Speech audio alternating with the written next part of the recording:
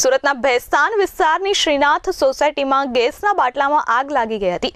ગેસના બાટલામાં આગ લાગતા એક પરિવારના ત્રણ લોકો દાઝી ગયા હતા. જેમાં એક વર્ષીય બાળકનું મોત થયું છે. જ્યારે અન્ય લોકો ગંભીર હાલતમાં હોસ્પિટલમાં સારવાર હેઠળ છે. મળતી માહિતી મુજબ મૂળ બિહારના વતની અને હાલમાં સુરત ભિસ્તાન સ્થિત શ્રીનાથ સોસાયટીમાં સુબોધન પ્રસાદ પરિવાર સાથે રહે છે. અને મિલમાં નોકરી કરી પરિવારનું ગુજરાન ચલાવે છે. પત્ની ગુડિયા કુમારી ઘરમાં રસોઈ કરી રહી હતી. એ દરમિયાન ગેસ સિલિન્ડર લીકેજ થતાં આગ લાગી ગઈ હતી. જેમાં ચોવીસ વર્ષીય ગુડિયા કુમારી, તેનો એક વર્ષીય પુત્ર સુમિતરાજ અને બાવીસ વર્ષીય ભાઈ નીરજ ગંભીર રીતે દાઝી ગયા હતા.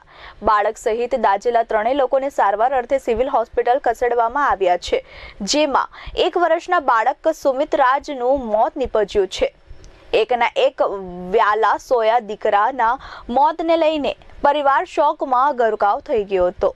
બીજી તરફ ગુડિયા કુમારી અને તેનો ભાઈ હાલ સારવાર હેઠળ છે. તેમની હાલત ગંભીર હોવાનું જાણવા મળ્યું છે.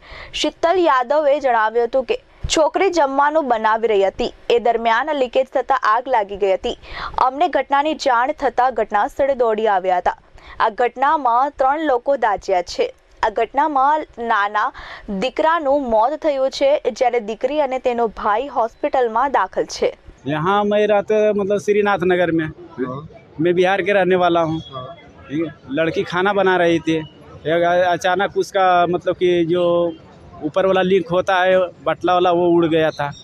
उसी में आग पकड़ा है समझिए? हम लोग डाइंग पेंटिंग में काम करने वाले थे मालूम चला फ़ोन किया तो हम लोग आए दौड़ के। तीन आदमी जल गए। कौन कौन? एगो लेडीज़ जला है एगो लेडीज़ का लड़का जला है एगो उसका भैया जला है। छोटा लड़का का मौत हो गया है और मतलब दो गो अभी सीरियस में है। लड़के की कितनी उम्र होगी? चौबीस साल। लड़का जो मरा वो? एक साल। खाना बना रही थी। तो अचानक से क्या हुआ? अचानक उसका गैस निकल लीक कर गया bureau report H twenty four on news Surat